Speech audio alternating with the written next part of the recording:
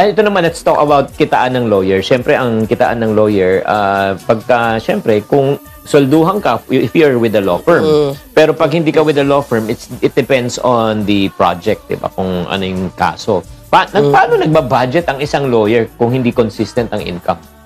Ah, mahirap yan talaga. Tulad sinabi mo, uh, kung may base pay, mas madali, ano? Uh, minsan, ako, karanasan ko so far, naka-base pay ako bilang abogado. No, nagpa-practice ako sa Amerika at saka sa, dito sa Philippines. Ano? Um, kung hindi talaga base pay o kaya, kaya sariling kayod, ikaw mismo yung mm, law firm mo, mas mm. mahirap yan, parang business. Kailangan marunong ka magtabi o sabi mo nga, mag-ipon. Mm. Uh, mag-ipon, mag-isang tabi. Uh, pati yung savings mo, yung buffer o yung allowance mo para merong konti kang leeway, dapat nakaset aside yan. Uh, uh, yun ang, tapos, ang kagandahan sa pagiging lawyer, may estimate ko kung medyo kulang kita mo, hindi kumuha mas maraming kliyente. Oh. That's the, the thing. So, dahil ang lawyer, pag tumanggap ng kaso, meron tinatawag na acceptance fee. Hmm. Depende sa kung gaano kahirap ang kaso, depende sa karanasan mo bilang isang abogado, So from there, mababudget mo kung anong uh, gaano kalaki dapat yung budget mo nang sa ganoon, yung mga uh, kaya mo tustusin, yung mga gastusin sa mm. law firm. Sige, last mm-hmm. question na lang ako bago kay pasa ko kay ano Mamo Tintin. Mm-hmm. So, let, bigyan natin ng idea kasi may mga iba baka nanonood na gustong i-pursue ang career bilang isang abogado. Magkano normally ang tinatanggap ng uh, minimum uh, and then siguro maximum pag lumaki na yung practice? Well, depende sa laki ng law firm na papasukan mo at saka anong kung government ka or private sec uh, private sector. Palagi sinasabi na kita ng isang lingkod bayan, isang public servant ay mas maliit kaysa sa private sector. So, mm. gawin nating baseline yan. Uh, magkano ba kinikita halimbawa ng public attorney sa public attorney's office na nagbibigay ng libreng serbisyo sa mga maralita na, na kliyente? Ang alam ko na umaabot na halos 100,000 yon a month eh. Oh. Mm. Oo.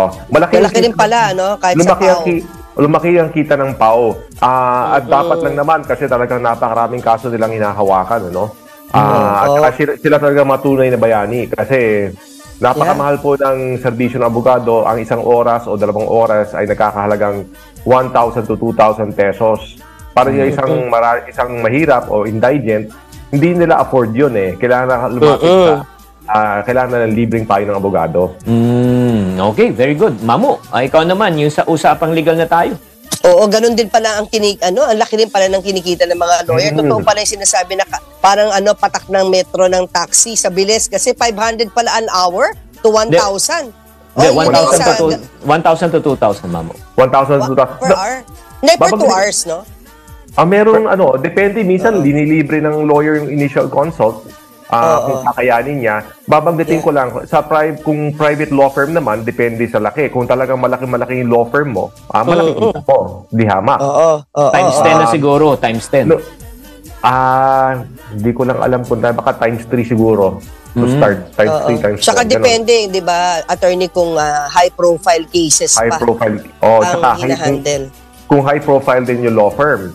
Sa Amerika, uh, I'll give you an example. No? Sa Amerika naman, ang isang abogado is billed out kung kung talagang may karanasan siya, o veterano, uh, is billed out at $575 per hour. Wow. Oh, grabe. Yung, yung billing rate yun. Oo. Yung part of that bill, yung binibill out sa client, doon kinukuha yung base niya, yung base salary. Ah. So, maaaring kumita ang isang abogadong uh, halimbawa sa, sa New York ng mahigit $10,000 a month. Wow. Wow. Kaya, oh, kaya yun, yun. Uh, realistic, yeah. actually, median yan eh. Hindi, it's not even yeah. on the high end eh. Yun talagang uh-huh. malaking pagka senior ka at malalaking law firm na talagang prestigious top law firms. Ay, nako, malaki talagang starting dyan. Uh, it could be like $200,000 a year to start no? Yeah. Uh, Oo. Depende rin. Oo. Oo. Pero syempre, dollars din naman ang gastusin dun sa States eh. So yung 500,000 eh, parang 500,000 pesos lang yan kung dun ka nakatira.